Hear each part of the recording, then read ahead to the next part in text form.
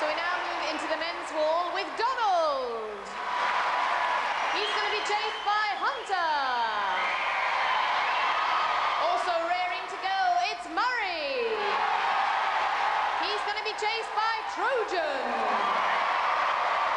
Over to John Anderson.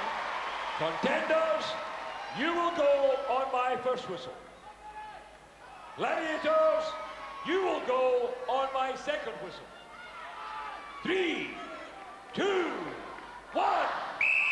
Donald in blue failed to score on his last climb. Murray in red and his first time on the wall. Here comes trouble. And Donald in trouble. You can't afford a slip with Hunter on your tail. And Hunter closing in on his brave.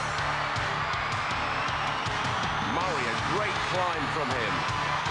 Hunter moving in for the kill. And Murray nearly at the top of the hill. Donald's down and out, and Murray's up and over. 10 points. Well done, Murray. Feels good, eh? Yeah, that was great. Did you did you know that Trojan actually slipped? No, I didn't. I got a bad start. Uh, I knew I hadn't got a quick start, but once I got over the overhang, I got there. It was just like climbing up the side of my lighthouse.